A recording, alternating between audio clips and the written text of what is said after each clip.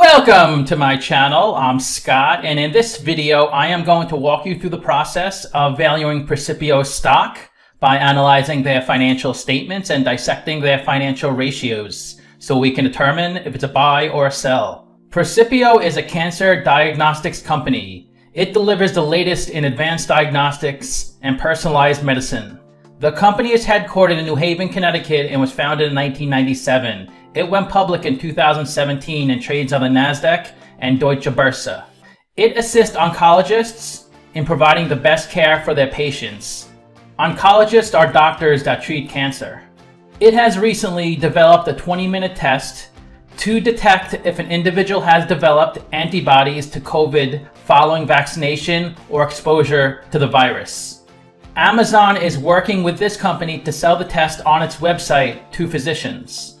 Let's get started with the model. This is a micro-cap company, 82 million market cap. They're trading at 361 a share and they have 23 million shares outstanding. Let's look at their financials. The way you value a company is you estimate the free cash flows into the future and then you discount those numbers back to today's value. That's what we're doing in this video. And free cash flow is cash flow from operations minus capital expenditures. So you can see they do have negative free cash flow each year because they still have small revenue as they're growing their business. Net income is the profit and loss on the income statement. It's revenue minus expenses. And that's negative every year as well. Revenue is a sales for the company and that looks okay, growing from 3 million up to 7 million. This is the company's income statement. The top line is the revenue, the sales, Below that is cost of revenue, and these are the expenses directly related to generating the revenue. Revenue minus cost of revenue gives you your gross profit, and their gross profit grows from 225 million up to 1.5 billion. So that looks really good. Below that is operating expenses. They probably spend a lot in research and development as well as marketing. Gross profit minus operating expenses gives you your operating income, and that's negative every year. Below that is the interest they pay in their debt. And the bottom line of the income statement is their net income, which of course is negative every year. This is the company's statement of cash flows. The top line is operating cash flow. That's how much cash the company loses from its operational business. You could think of operating cash flow as net income converted to cash because net income is your accounting profit and loss. It's not actual cash. Then you have capital expenditures, which are investments in property, plant, and equipment. They spent over $300,000 in capex in the trailing 12 months. Operating cash flow minus capex gives you your free cash flow, which of course is negative every year. Since they have negative free cash flow, they're using debt and equity to run their business. They issued $4 million of debt in 2018 and 2.1 million in 2019. Also 787,000 in 2020. But most of their capital is coming from equity. They raised 2 million in 2018, 6.6 million in 2019, and 8.9 million in 2020. Every time a company raises equity, that increases the shares outstanding, making your shares less valuable. Let's look at the capital structure. 15 million of equity, 1 million of debt. They're 95% equity, 5% debt. And their WACC is almost 23%. That's a really high WACC because it's a very risky stock. And that's a discount rate we're going to apply to the future cash flows. We estimated seven years of future free cash flows. We also estimated a terminal value, which is all cash flows past year seven, that's 107 million. We discount those numbers back to today using the weighted average cost of capital. We get a value of the company of $28 million. We divide that by 23 million shares. And we get a calculated stock price of 122. They're trading at 361, so they're trading at a 196% premium. It's a sell according to the model. The way I estimated their future revenue and future free cash flows, I looked at their competitive financials. I also looked at their financials and their business model. I looked at the market as a whole and tried to estimate what percent of the market they would have. I estimated their revenue would be around $200 million by 2027, and they would convert about 10% of that into free cash flow. That's how I came up with the 21 million and the previous free cash flows just backed into the $21 million. If I did a discounted cash flow model on AT&T, 90% of my estimation would be on the company's history and their financials. 10% would be guesswork. With this company, it's the opposite. 10% of the estimation is based off of the company's financials and history, and 90% is guesswork. This top chart is the stock price since it started trading, so it looks like it was trading close to $170 a share at one point, but it was never this high. It's just because they did a 1 for 15 reverse stock split, so you have to divide these numbers by 15 to get the actual stock price. This is where the stock has been trading the past year, so it looks like it peaked at close to $7, and then it came crashing down, and it was pretty flat for a while, and recently the price was driven up, although it has been coming down a little bit the past few weeks. The company's stock price can change a lot based off of news headlines, also market sentiment, but it's generally not based off of financials because they're not making money yet. Although some people may be buying the stock thinking their financials will be strong in the future, but right now, they're pretty weak.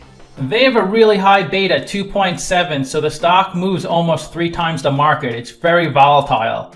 The stock has gone up 350% in the past 52 weeks, while the S&P 500 went up 38%. The 52-week low was 80 cents. Imagine if you got this stock at 80 cents. You could have made a lot of money even if you sold it now at 360.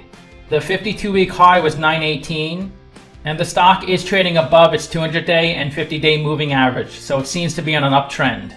This is a really liquid stock. 10 to 14 million shares are traded each day. Of the 23 million shares outstanding, 22 million are on float, 5% are held by institutions, and about 9% of the shares on float are shorted.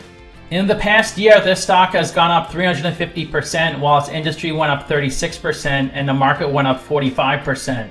But in the past three years, this stock has gone down 46%, while its industry went up 60% and the market went up 62%.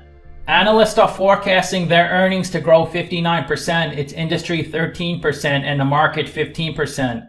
Analysts are forecasting their revenue to grow 40%, its industry 7%, and the market 9%. In the past five years, their annual earnings increased 4%, its industry 13%, the market 12%. In the past year, their earnings grew 51%, its industry 60%, and the market 20%. If you invested $10,000 into this company when it IPO'd, you'd be at $157 today. That's a 98% loss. Those reverse stock splits really kill you over time. The biggest shareholder is David Cohen. He's a director at the company. The next biggest is Vanguard, Renaissance, Geode, and Susquehanna. Let's look at their financial ratios. The average PE in the market's 33, the median is 22. PE is stock price over earnings per share. To calculate earnings per share, that's net income over shares outstanding. They have negative net income, so we can't look at the PE. Their price to sales is 12.2, so investors are paying $12.20 for $1 revenue. Their price to book is 5.6. That's between the market median and average. And price to book is stock price over book value per share. Book value per share is equity over shares outstanding. Equity is assets minus liabilities in the balance sheet, and they have 15 million of equity, negative 1 million of tangible equity, since they have 15 million of intangible assets on their balance sheet. They have negative net income, so they have negative ROE. Their current ratio is current assets over current liabilities. They can cover 90% of their current liabilities with their current assets and their current assets are cash of 2.3 million, 600,000 of receivables, and 470,000 of inventory. The company does seem to be undercapitalized. They had negative $7 million of free cash flow. They're a little short in working capital, so they have negative $8 million of funding. So they're going to need more debt or equity financing to run their business over the next 12 months. The best way to look at ratios to compare them to companies in the same industry. I've done videos of three other companies in the same industry as Precipio. And if Precipio has a number in red, they're worse than the average. If they have a number in blue, they're better than the average. So they're worse in PE because they're negative.